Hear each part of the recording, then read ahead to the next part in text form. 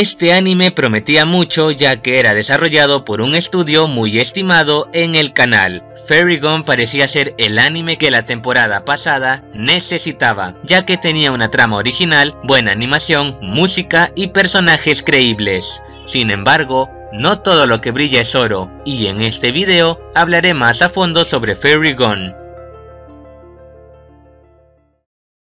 Existe un mundo donde las hadas son usadas como armas por los humanos, al menos en la guerra. Cuando esta acaba, se forma un grupo llamado Dorotea, un grupo militar que se encarga de perseguir a soldados con hadas debido a que luego de la guerra dichos soldados se volvieron corruptos. En este contexto aparece Marlia, una chica que se une a Dorotea por azares del destino. Ahora ella deberá perseguir gente con hadas y resolver asuntos de su pasado.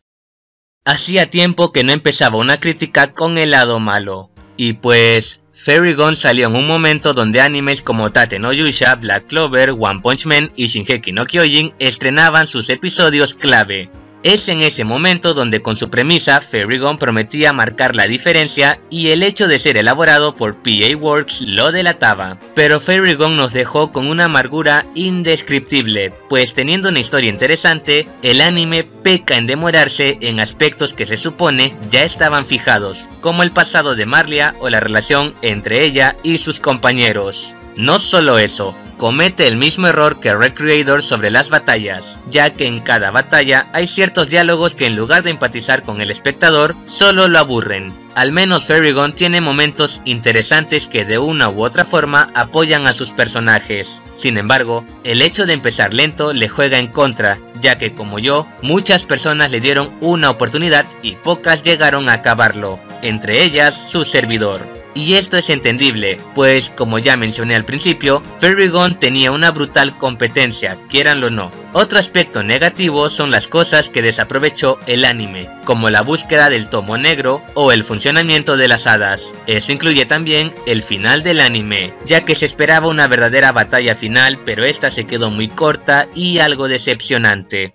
Listo, acabamos con lo malo, y sí, era poquito ya que desde mi punto de vista, eso es lo único que martiriza a Fairy Gun. Si hablamos de estética, pues Fairy Gun puede jactarse de ser el único anime de la temporada pasada que se esmeró en las luchas, los paisajes y el estilo fatalista que siempre deja la guerra en los animes. No solo eso, a diferencia de Hirosuku Sekai, en este anime empatizas con la protagonista y sus compañeros rápidamente. Aunque claro, Hirosuku se tomaba su tiempo, pero se aseguraba en no demorarse mucho. Los villanos en este anime son básicamente gente con resentimiento a la nueva política de los reinos unificados. Cosa entendible ya que la unión de los reinos se hacía sabiendo que las muertes en la guerra no son algo que se olviden fácilmente, y los villanos en este anime usan eso a su favor como motivación. Aunque claro, no todos los villanos son interesantes, y esto lo vimos con los personajes a vencer en los últimos episodios. El rumbo y desarrollo de la historia están bien hechos, ya que en esta parte de la historia se habla de Marlia y cómo se adapta a Dorotea.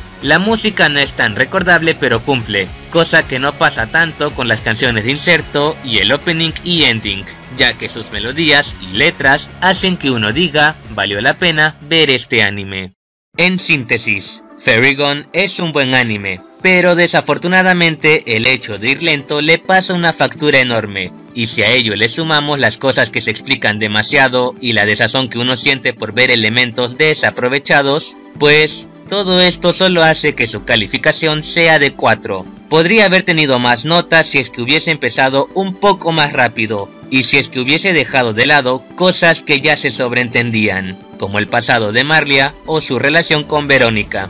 Eso podría haber evitado que la gente deje de verlo luego de pocos capítulos e incluso los hubiese motivado a ver el anime hasta el final y esperar su segunda parte con ansias. Bueno amigos, eso fue todo por esta ocasión. No les mentiré, me costó trabajo terminar de ver Fairy Gone. Eso explica el por qué esta crítica salió tarde, y sinceramente dudo mucho que a alguien le importe mucho este aspecto, ya que Gone prometía mucho pero no dio la talla que uno esperaba. Bueno, ya veremos cómo le va en su segunda parte, y espero que sea mejor que esta. Ahora continuemos con las reglas. No olviden suscribirse al canal, likear y compartir este video y tampoco olviden seguirnos en las redes sociales. Este fue su amigo el Sam quien les dice nos vemos, hasta la próxima.